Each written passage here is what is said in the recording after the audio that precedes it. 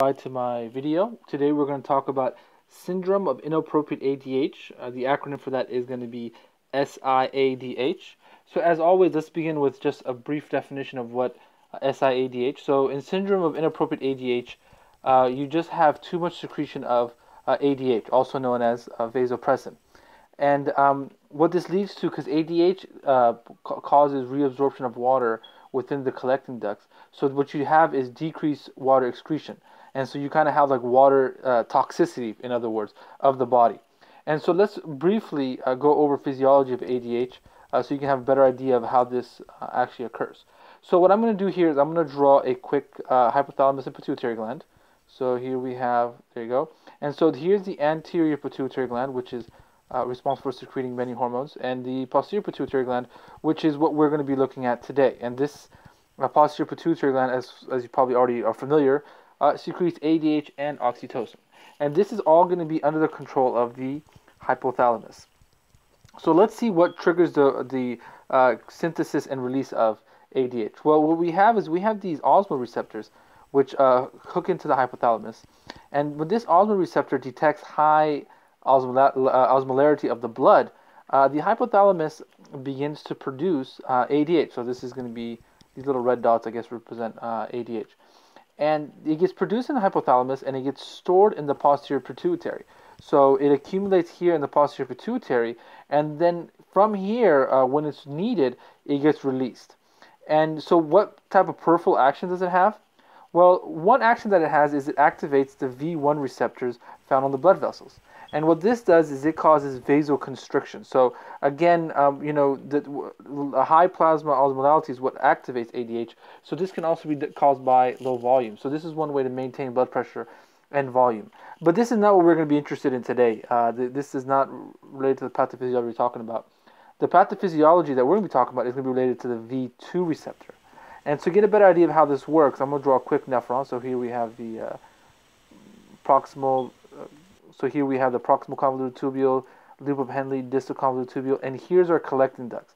And in the collecting ducts is what we're really going to be focusing on. So as you know, there are cells lining the ducts. Uh, one of the cells that I'm going to kind of zoom in here on is going to be the principal cell. So here we're drawing the principal cell. Uh, on this right side we have the lumen is where the urine is being formed. And on the left side is going to be blood where everything will be reabsorbed. Now within this principal cell, uh, there are these vesicles. And so lining the vesicles are going to be these uh, little channels. And these channels are called the aquaporin 2 channels. So uh, when ADH, and so these, these little green dots here represent the channel.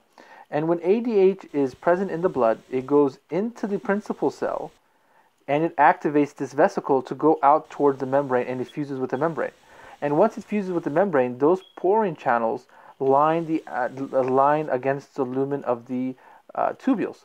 And so as water is passing through, they're going to go through the aquaporin channels out into the other side, into the interstitium, and finally the blood. And so here on the nephron, you can see so water becomes reabsorbed, and everything, and, and, and therefore it doesn't get excreted in the urine. And so obviously, if you have too much of this, you can't excrete any water. You're just retaining all the water that you've ever drank. And so eventually, um, you're going to get uh, your urine is going to have high urine osmolality. So one of the re- one of the methods that your body has for maintaining high urine osmolality is from uh, ADH. And so without ADH, uh, it's going to uh, or with ADH, your your urine osmolality can shoot through the roof. Look at uh, what's going wrong uh, in SIADH and how that's causing the pathology. So the pathophysiology all revolves around uh, the patient is ingesting water, so he, he has ingestion of water, um, but he's not able to suppress ADH like he's normally supposed to because of course when you ingest water that uh, lowers your uh, plasma osmolality and you should be able to suppress water. So if you're not able to suppress ADH uh, that eventually is going to lead to water retention. And so this is going to be uh, water retention is going to be the pathophysiology but as you're going to see right now that's actually not where the problem lies. So you're going to have water retention but obviously your body has other mechanisms to deal with it. So when you have increased total body water, uh, that increases the extracellular fluid volume. And so although you're not allowed, to, uh, you can't, the, the patient uh, is, is can't uh, lower ADH to combat the high total body water, you do have secondary natriuretic mechanisms And natriuretic means uh, mechanisms that involve uh, losing salt and water. So what your body will do is it'll increase the atrial natriuretic protein or peptide, excuse me, and it'll decrease the renin aldosterone, angiotensin system. And so by decreasing these, you're able to actually restore the blood volume. So all this water retention uh, doesn't become as, as much of an issue because you're actually restoring the blood volume. But in order to do that, you're going to have to lose a lot of sodium. And so the patient ends up having hyponatremia or low plasma sodium. And this is actually going to be a bigger problem than the actual water retention because that gets restored by these secondary mechanisms. So you do, you do need to uh, kind of have, be very conscious of this uh, effect. So th- that's kind of general uh, pathophysiology there, and I think that gives you a clear understanding of what you're dealing with. Now let's go ahead and move on to the clinical aspect of what's going on here. So the the primary signs and symptoms of uh, SIADH is just basically the symptoms of hyponatremia, and these symptoms are primarily uh, neurological. So you know, so basically the, the, the entire nervous system kind of begins to slowly shut down. So the patient is kind of malaise, uh, feeling tired, and they can get into a coma. And actually, before coma, uh, they can just feel obtunded, where they're just not that active. Um, so and and so th- those are the symptoms of SIH. There's no other symptoms specifically related to ADH besides uh, if they have some of the underlying cause that might be uh, leading to these uh, SIADH to begin with, such as tumors or, or whatever that may be. Uh, so let's look at labs.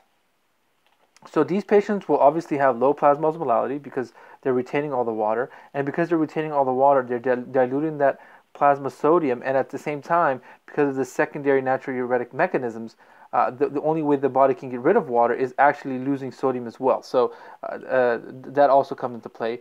The urine osmolality is going to still be high because, again, um, ADH keeps that high urine osmolality, and you don't want that. I mean, you already have a low plasma osmolality. Why are you trying to get rid of more? So they're going to be high. Generally, going to be greater than 100. Okay, and so then, and then, by the way, potassium will actually be normal, and that's generally attributed to the fact that you can have cellular shift, right? So the potassium within the cell can shift out and compensate for any loss or dilution uh, that might have occurred outside of the cell.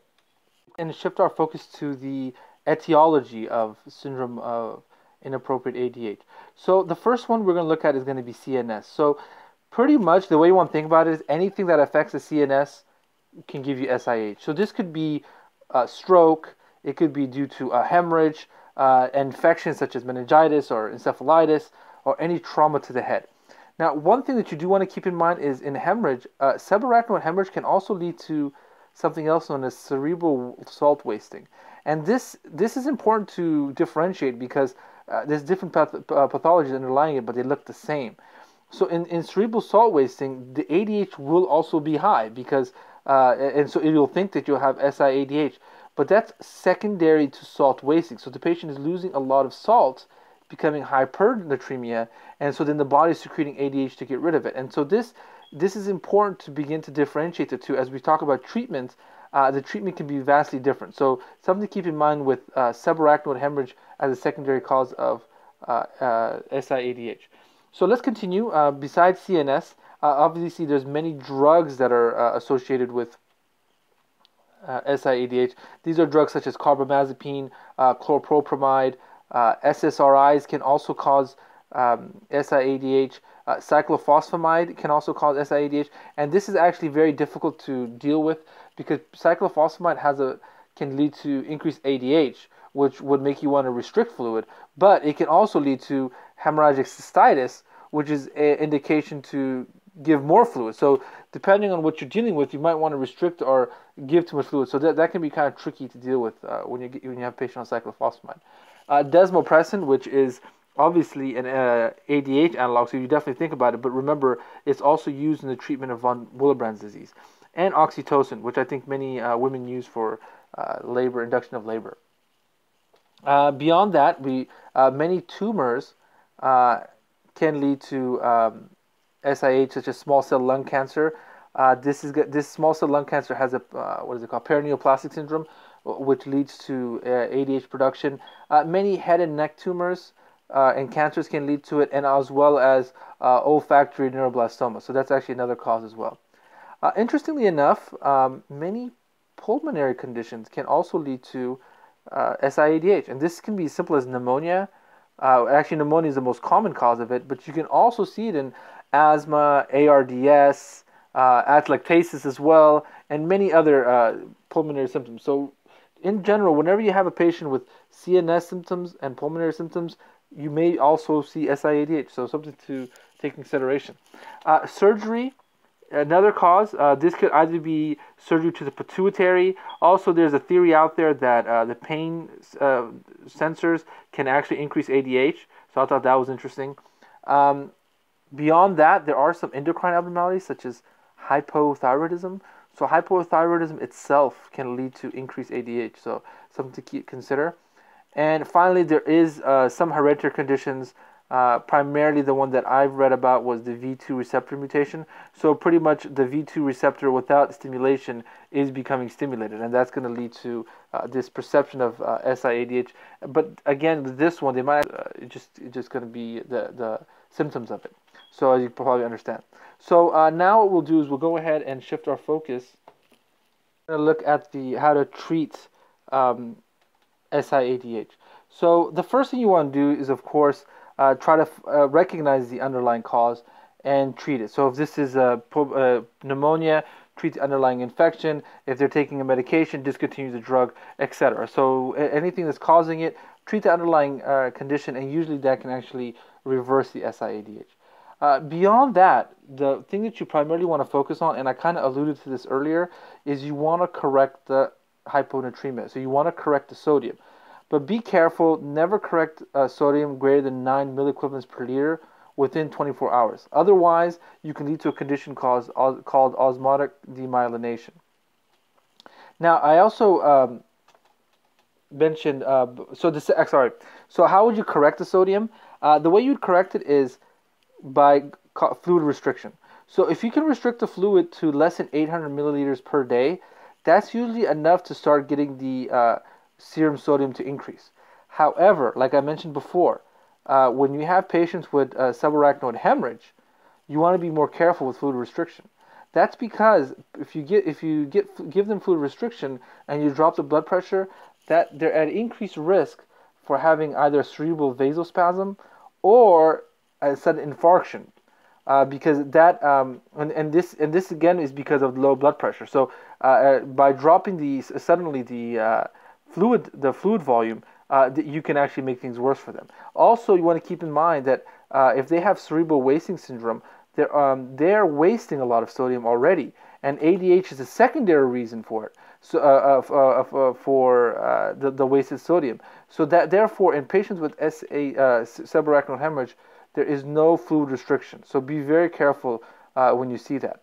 Otherwise, you do want to give these patients hypertonic saline IV uh, and hypertonic saline IV obviously has a higher concentration of sodium, and this will uh, decrease, sorry, decrease renin-angiotensin aldosterone system and increase the ANP. But this time you have a lot of more sodium, so that even though you're you're both having salt and water loss, since you have a lot more sodium, you can afford that water loss. So this is pretty much the mainstay of treatment is to give that hypertonic saline IV with the fluid restriction. Um, you also want to go ahead and give them increased uh, solute intake. So by giving them more solutes, again, uh, you're replenishing because this is going to be the primary system being uh, used for getting rid of the water. You're replenishing the sodium loss that's occurring, so that you, that water loss can just occur without uh, affecting your uh, sodium uh, sodium levels much. And this, you know, you can just give oral salt tablets, and you can give urea. Um, you you do want to consider giving them loop diuretics as well and that's primarily done if the urine osmolality is greater than 500 milliosmoles. Um, beyond that, there are there is a vasopressin antagonist, so this will obviously block the effects of ADH at the kidney level, and this is the two drugs, tolvaptan, which acts on the V2 receptor, and conivaptan, which works on the V2 and the V1A receptor. So less specific, but uh, still works. Uh, beyond that, um, the demeclocycline, which is a tetracycline, also is uh, an ADH inhibitor, and lithium. So lithium uh, blocks the expression of the aquaporin uh, channels. So uh, this is going to pretty much wrap up the discussion on SIADH. Hope you learned a lot, and I'll also see you in my future videos.